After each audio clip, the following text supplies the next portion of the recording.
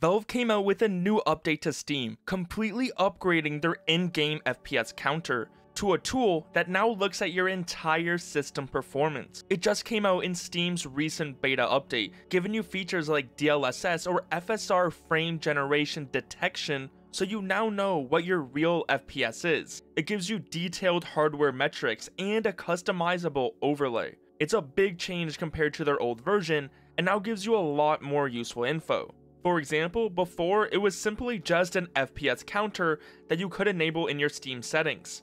It would let you choose what corner you would want it in and would simply just be your FPS. While useful for a quick performance check, it offered no insight into why a game is running poorly or how system resources were being used. So after years of having this FPS counter, they have dropped an update that completely changes it, calling it a performance monitor. They have completely expanded it by showing both native and AI generated frames, or what are more commonly referred to as fake frames. This is a big talking point a lot of gamers have had in the past few years as this tech has gotten more and more popular, especially with modern GPUs that use this tech to generate extra frames and inflate your FPS, where your actual FPS is a lot lower than what gets shown to you. So now if you are playing a game that uses DLSS, FSR, or any other use of frame generation tech, Steam's new monitor will directly tell you by showing you your generated frames by labeling it in red, and then your actual game frame rate will be right beside it. If you see just one FPS number, that means your game isn't using DLSS or FSR.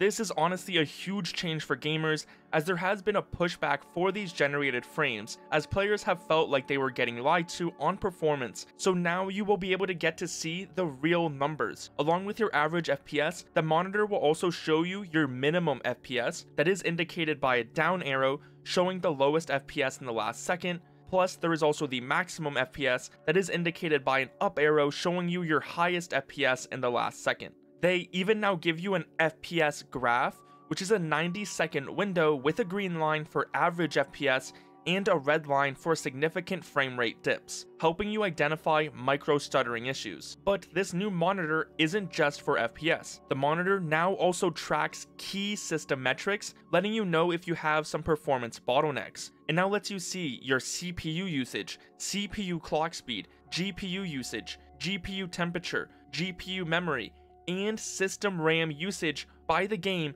and other processes. These metrics will help you diagnose issues like a maxed out CPU limiting your GPU performance, or full VRAM causing stuttering. Massive changes by Steam completely upgrading their old FPS counter into a full-blown performance monitor, so now if you have a problem with any game, you can see what's really going on. You can easily decide what actual features and numbers you want shown, whether you just want the simple FPS counter like before, maybe you want to see the new graph, or want all the details including your CPU, GPU, and RAM. Along with this, Valve even gives you more customization options. Now you get to completely change the contrast and saturation with a scroll bar to your desired look. And there's even background opacity to make sure you can easily see it. Valve says the new monitor can help you understand your frame rate and can help you see if your CPU might be your bottleneck or if your GPU is. It can see if you are out of system or video memory, and if those factors are impacting performance as well. It's important to remember this is just in beta, so expect potential bugs and even changes. But if you want to try it out before it officially releases, just make sure you go to your Steam settings, interface, and then client beta participation, select Steam beta update and restart Steam, then go back to settings in game and you should find the new performance monitor. Valve has stated Linux users currently have limited options, but Valve is working on expanding support, as of course, it is only in beta. This wasn't the only recent change they made to Steam, we also talked about their accessibility filters update for the store a few days ago in a previous video.